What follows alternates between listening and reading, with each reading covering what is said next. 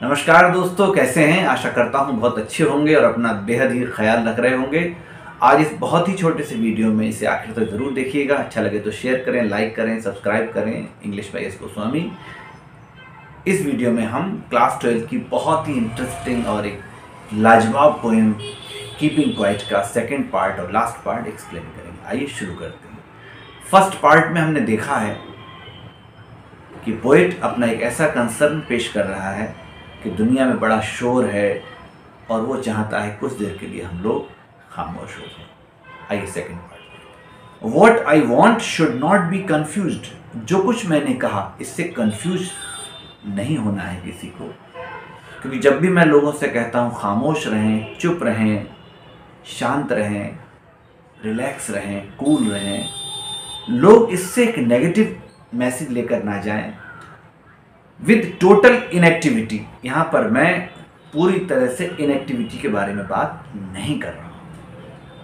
मसलन, मैं खामोश रहने के लिए कह रहा हूँ, मैं धीरे बोलने के लिए कह रहा हूँ, मैं शोर कम करने के लिए कह रहा हूँ, लेकिन मैं ये बिल्कुल नहीं कह रहा हूँ कि हमें कुछ भी नहीं करना चाहिए। Life is what it is about ज़िंदगी इसी के बारे में है। I want no truck with death truck means associate जोड़ना। मैं इसे मौत से नहीं जोड़ रहा हूँ। मैं इसे इनएक्टिविटी से नहीं जोड़ रहा हूँ। मेरा ऐसा कहने का कतई इरादा नहीं है कि हमें कुछ नहीं करना है और हमें सिर्फ़ मर जाना है। If we were not so single minded about keeping our life moving अगर हम सबका एक ही लक्ष्य ना होता, क्या? लाइफ मूविंग सिर्फ़ तरक्की भाग दौड़ दौड़ भाग, हमेशा कुछ करते रहना, ज़िंदगी में आगे बढ़ते रहना, भागते रहना, चलते रहना। अगर हमारा सिर्फ़ यही मकसद ना होता एंड फॉर वंस को डू नथिंग तो हमारे सारे साथी हमसे पीछे ना छूट गए होते। और एक समय ऐसा आता, जब हमारे पास कुछ भी करने को बाकी ना होता। वो आपने एक सॉन्ग सुना है ना? ये कहाँ आ गए, हम यूँ ही साथ साथ चलते।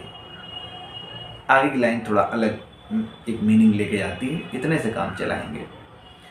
तो जब हम ज़िंदगी की भाग दौड़ में, तरक्की की इस अंधी रेस में हम भागते भागते भागते बहुत आगे निकल जाते हैं तो हमारे अपने, हमारे साथी, हमारे खास दोस्त, हमारे चाहने वाले हमसे बहुत पीछे छूट जाते हैं।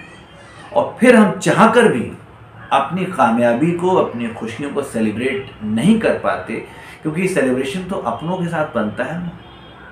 और जिनके साथ हम सेलिब्रेट करते हैं, वो हमसे जेलस तो हो सकते हैं, हमसे खुश नहीं।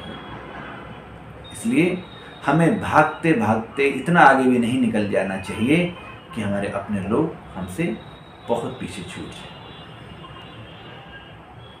Perhaps a huge silence might interrupt this sadness. शायद एक बड़ी सी खामोशी इस दुख को एक विराम देगी, इस पर रोकथाम करेगी।